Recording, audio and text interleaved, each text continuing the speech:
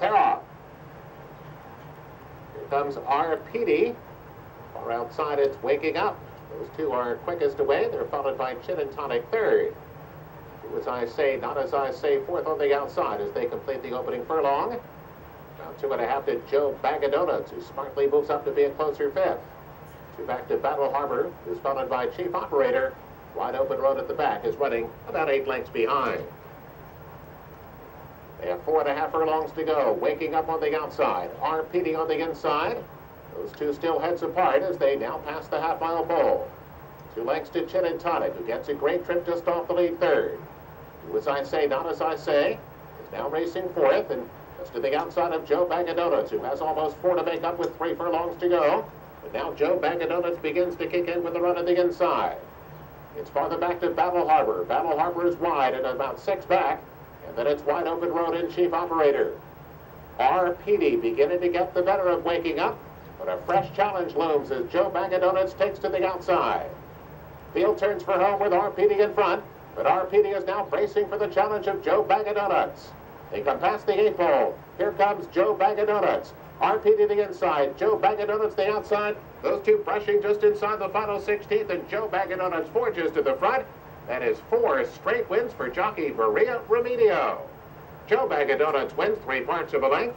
R. Petey's second battle, Harbor was third.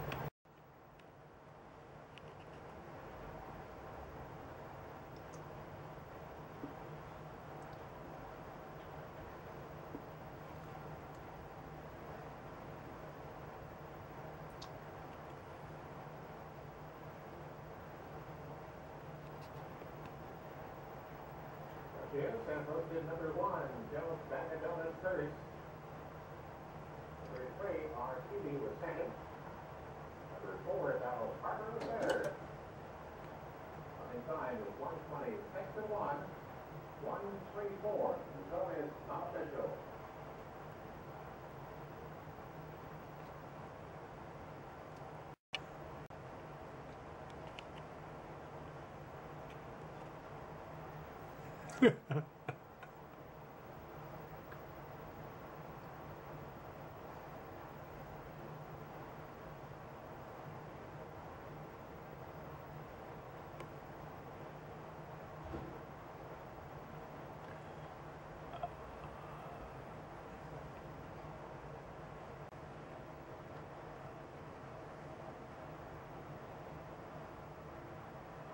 is your fifth race player number one, Joe Bag of Donuts.